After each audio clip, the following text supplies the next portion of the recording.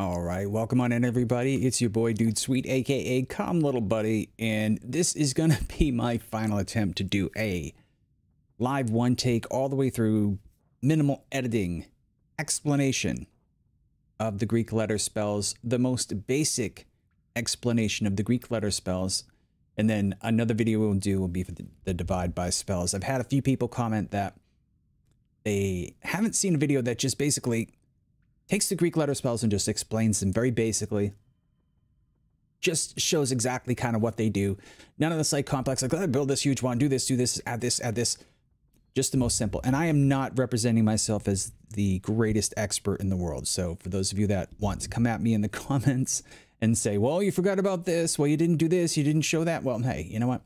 I'm not one of the people who knows, you know, so I am just a humble servant trying to provide a tiny bit of information. So we're giving you a tiny bit of information about the Greek spells. All right. First of all, you can unlock the Greek spells by killing the alchemist. I have a video on how to do that. And you can look that up as well. One of the ways that you can become adept with using the Greek spells is to practice. How do we practice? You can use spell labs. If you go to Steam, you go to the workshop and you search for Spell Labs and you subscribe to it. Then when you start Noita, click it on, restart game with uh, mods active, and then you have this little guy up in the corner here. So there's a whole bunch of stuff, but the, the important things that you kind of need would be enable no death, basically. We don't want to die because we're going to be testing a few things out. We have a wand spawner, and we'll do that in a second. And we have our, our spell picker, which has all the different types of spells, including the Greek spells. I've already gone ahead and picked up some spells. We just need some wands. I wanted to show you the wand spawner very briefly. Uh, we can, I'm going to turn cast delay and everything way down. I'm going to turn mana way up just so that we can, um, we can demonstrate. You, you can use these with wands that are not obviously like these super crazy ones. They will work with almost anything. Let's spawn four of these.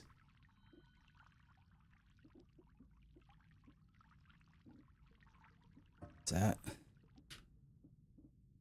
One, two, three, four. All right.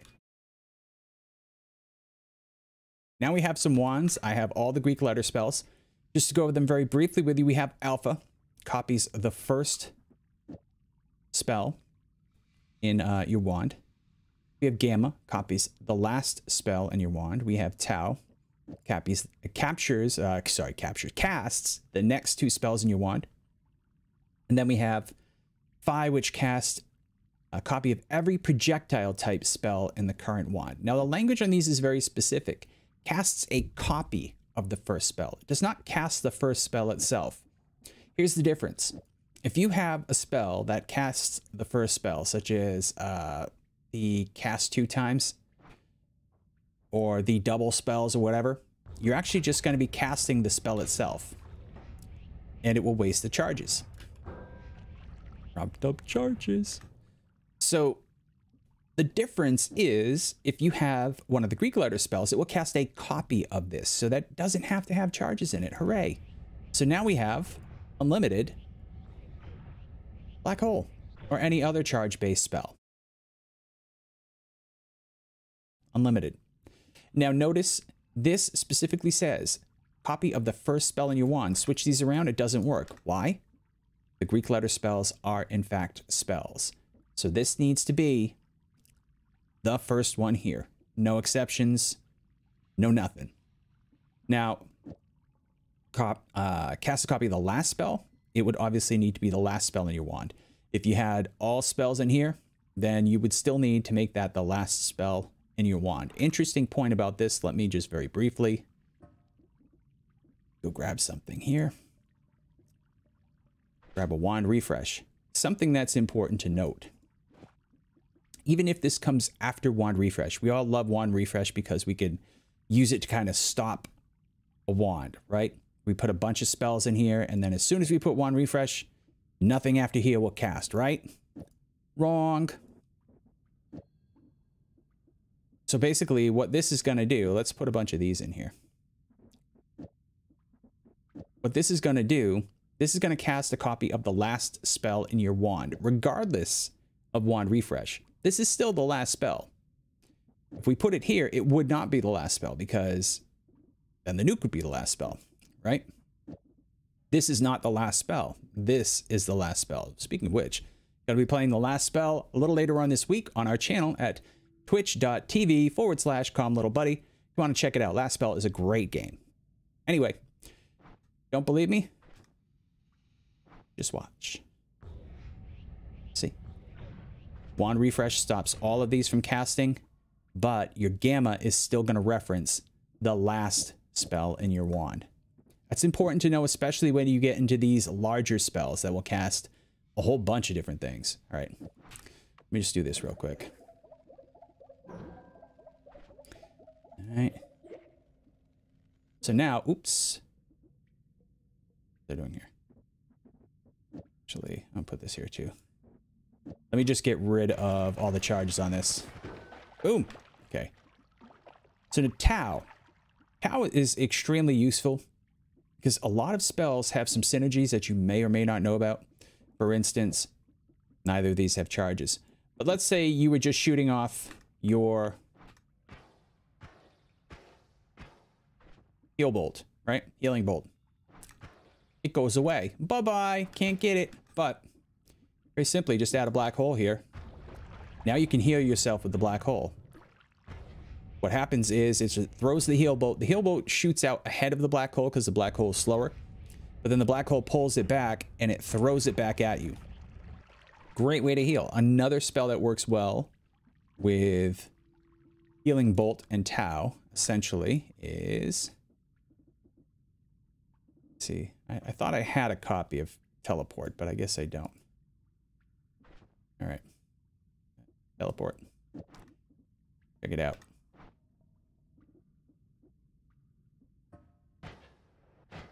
Oftentimes you will catch up to that heal bolt with your teleport and it will heal you. So Tau can be very useful. Cast the next two spells. Tau can be used in conjunction with other Greek spells. So if you wanted to cast two Greek spells, you could use Tau. Now, one thing so far about these is you can notice that the cost of these, some of these are very dramatic. 30 is not so bad considering you're using it to, you know, cast an everlasting supply of spells that have charges. Again, 30, not so bad. Tau is 80, which is a little bit of a markup. Now, if you look at this, this is free to cast two spells. So why wouldn't we use this? Well, because this only casts the teleport. Notice, this has no charges, it won't cast. That's why Tau can be uh, your way around that. I mean, your other way around that is just use this with charges and when it runs out, say, oh, well, I ran out. But I don't think that'll be very much fun. All right, so any projectile type spell. Is that a projectile? I don't know. Is that a projectile? I don't know. Is that a projectile? I don't know. Is that a projectile? I don't know. about this? Anyone have a guess? Static projectile. It says static projectile, right? Do static projectiles count as projectiles? All right. 50-50 chance, right? Oh. It did not cast Circle of Vigor, and it did not cast Giga Black Hole, because those are static projectiles. We have a spell for that. Uh, I'm actually going to take this out, because I don't want that going off right yet. Uh, where is it here? Cast uh, every static projectile. All right, so in this case, Oh, it still cast uh, the teleport bolt. Weird.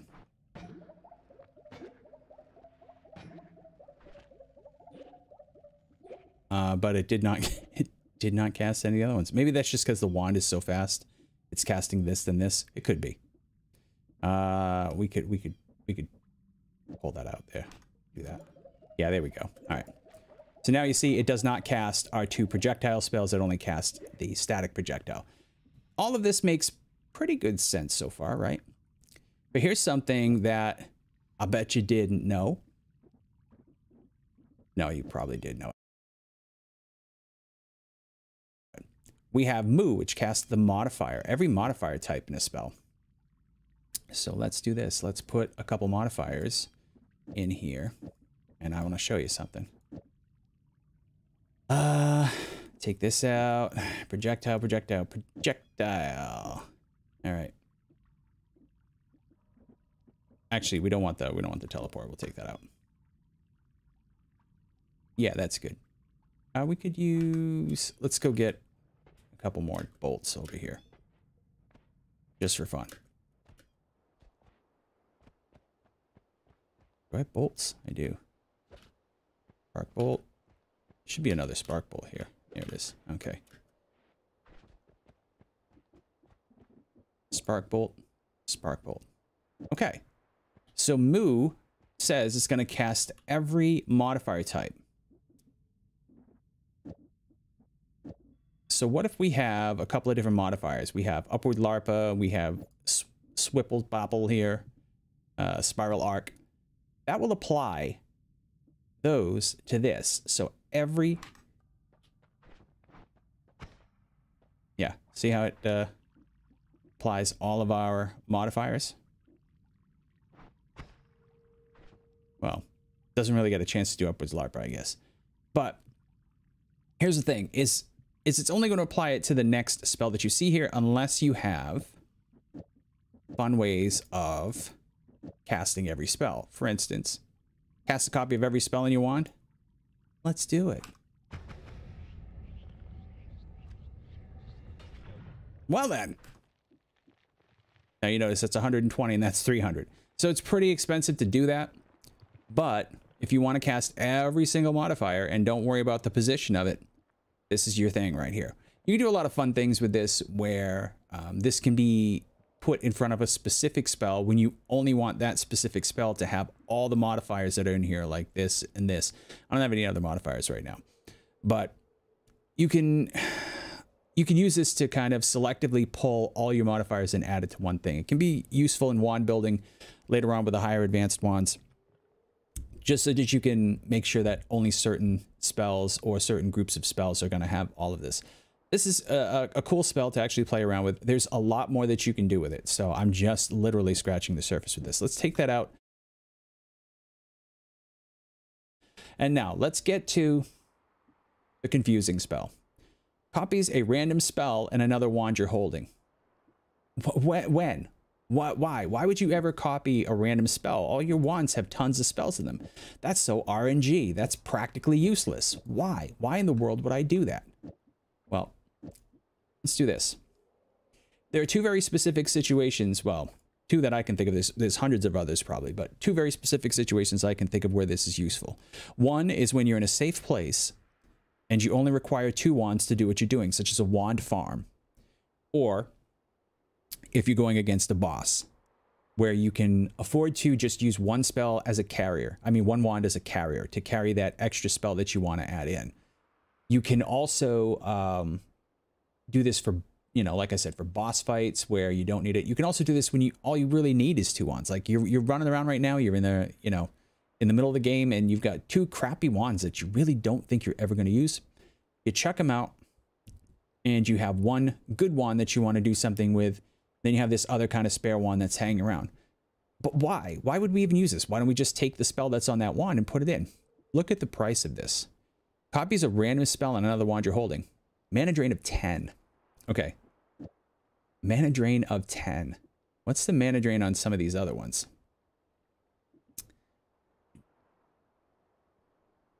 Where, where, where, where, where, where? Ah, here we go. 240 giga black hole. Hmm. Do I want to? 200 for nuke. Uh, 80. So you can see this can save you a considerable amount if you have something specific in mind that you want to cast. And in this case, you could even use this with, you know, casting it multiple times, like having a times two to cast this multiple times. Or you can have it set up so that this casts over and over again when you uh, have a spell that wraps, uh, sorry, a wand that wraps, this can actually be pretty valuable when you want to try to, uh, or divide by spells would work with this too. When you want to cast something a ton of times, but you can't afford the mana, you can stick it on a wand and you can use Zeta to make a copy of that spell for 10 mana. Lot of um, what do they call them? Like uh, corner situations, pocket situations, or whatever. They're they're they're they're oddball cases that you can use this, but they're good oddball cases. There are other times where you could have a, a whole wand with a whole bunch of different spells in it, but any one of those spells would work where your Zeta is. That's another way that you can do it. Or if you have, um, let me show you just an example. When are we even going to use this? This is like that, you know, that math class that you were taking. Okay, so let's say that you have this wand. This is your boss killing wand. You're going to go kill a boss and you want to use a nuke to do it. Smart, right? Using nukes to kill a boss? Well, maybe. We'll see. So what you want to do is you want to fire the nuke, but you also want to have, at the same time you fire that nuke, you want to have a circle of vigor near you. Why would you want that? Well, because nukes are dangerous. So circle of vigor will at least put a bit of a heal on you, but you also want to have the ability while you're maneuvering around to drop down and cast this by itself, right? You want to still have these two charges available to you. So you want the circle of vigor every time you cast the nuke, but you also want the ability to switch to this wand and cast it by itself without the nuke. So let's try it out. See how it saved me there? Just long enough, right? Just long enough. So that's when it can be useful. Look at all this stuff I just dropped. Oh my goodness, I'm dying, I'm dying over here. All right. Those are the basics of the Greek spells. Now, when you're using Greek spells in combination with other Greek spells, or you're using Greek spells in combination with divide by spells or multiply by spells, there's a lot of combinations and those things you can get into more specifically when you go and you watch videos that are about specific uses for it. The divide by spells, which I'm going to do a video for, those are a lot more complicated. The the Greek spells can be complicated with others, but on their own, they're pretty easy to understand. Like I said, the only one that kind of throws people is Zeta, but you can see how Zeta works. It's cheap and it can also be used in specific circumstances where you just need it to do what it does. You don't care about the price, but you get the idea. You get the idea. You can you can now cast ridiculous combinations because this is 90 mana drain. And uh, to add that in with a whole nother uh, 240 plus this is just going to be too much. So Zeta can save you some big bucks on some really expensive spells. That's pretty much it. If you have any questions, please go ahead, put them in the comments. If this has been at all helpful to you, or even if it hasn't, if you just want to have pity on me, go ahead, hit that subscribe button, hit the like button, hit the alert button, and come on back. Next time, we're going to be, do, be doing, we're going to Bedouin. We're going to Bedouin the divide by spells. Appreciate you all. Much love. Twitch.tv forward slash calm little buddy. If you want to come see me weeknights, 10.30 p.m. Eastern Standard Time. Actually, not just weeknights, but almost every night. I'm out. Thank you so much for hanging out. See you next video.